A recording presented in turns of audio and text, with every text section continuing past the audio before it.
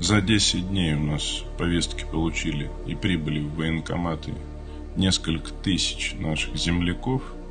и из них порядка половины мы вернули домой, как